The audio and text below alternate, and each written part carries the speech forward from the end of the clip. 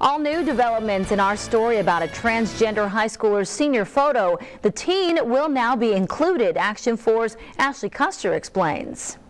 Late this afternoon, the LaFeria School District had a change of heart. Jaden Laredo will get his senior portrait photo published in the yearbook, just how he always imagined it, wearing a tuxedo.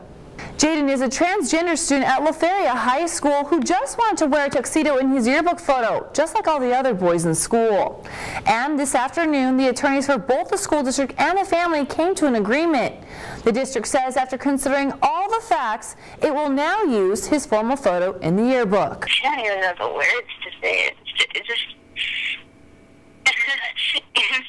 it means a, a lot to me because um, I'm hoping that it helps other kids down the road. This all comes after Laredo's mother reached out to the Human Rights Campaign after she said the superintendent Ray Villarreal originally told her it did not meet quote unquote community standards. Stella Laredo felt her son was being discriminated against. The district says it accepts, embraces, and supports each one of its students, but dress code issues can be complicated, and sometimes administrators are called to balance perceived community standards. As for the family, they are just happy that the issue was resolved and that no further legal action was needed. In the studio, I'm Ashley Custer, Action 4 News.